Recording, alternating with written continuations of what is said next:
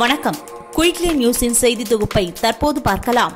அயோத்தி வழக்கின் உச்சநீதிமன்றம் வழங்கிய தீர்ப்பின் அடிப்படையில் ராமர் கோவில் கட்டுவதற்கான புதிய அறக்கட்டளையை அமைப்பது அரசின் கடமை என்று மத்திய அமைச்சர் ஜி. கிஷன் ரெட்டி தெரிவித்துள்ளார்.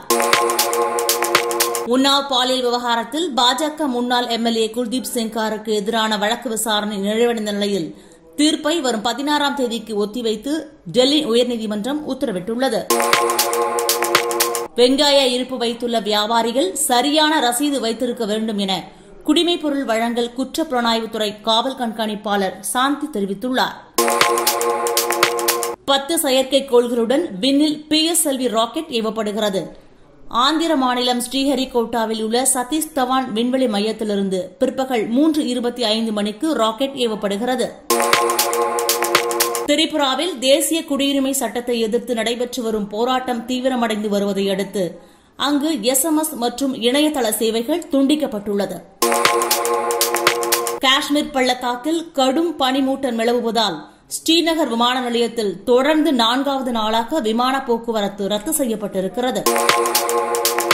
லோக்சபாவில் தாக்கல் செய்யப்பட்ட குடியுரிமை சட்ட மசோதாவிற்கு ஆதரவு தெரிவித்த சிவசேனா தற்போது திருத்தம் செய்யவில்லை எனில் ராஜ்யசபாவில் ஆதரவு அளிக்க மாட்டோம் என பல்டி அடித்துள்ளது. உள்ளாட்சித் தேர்தலில் எந்த கட்சிக்கும் ரஜினி ஆதரவு இல்லை என ரஜினி மக்கள் மன்றம் அறிவித்துள்ள நிலையில் ரசிகர்கள் உள்ளாட்சித் தேர்தலில் போட்டியிட தடையும் தடை விதிக்கப்பட்டுள்ளது. தமிழகத்தில் மணல் மாஃபியாவை போல் தண்ணீர் மாஃபியா அதிகரித்துள்ளதாக சென்னை உயர்நீதிமன்றம் வேதனை தெரிவித்துள்ளது.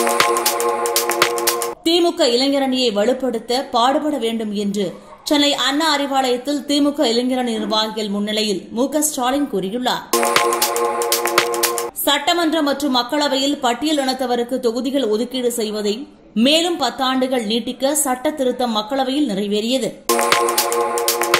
மறைமுக தேர்தல் நடத்த தமிழக அரசு பிறப்பித்த அவசர சட்டத்தை ரத்து செய்ய கோரி விடுதலை சிறுத்தைகள் கட்சித் தலைவர் தொல் திருமாவளவன் தாக்கல் செய்த மனுவை சென்னை உயர்நீதிமன்றம் தள்ளுபடி செய்துள்ளது.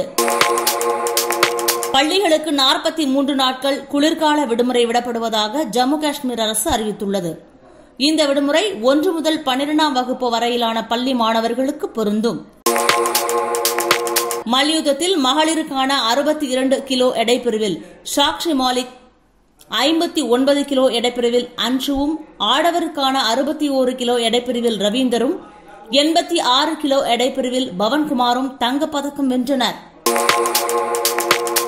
சர்வதேச போட்டியில் பங்கேற்க ரஷ்யாவிற்கு நான்கு ஆண்டுகள் தடை விதித்து உலக ஊக்க மருந்து தடுப்பு முகமை நடவடிக்கை எடுத்துள்ளது.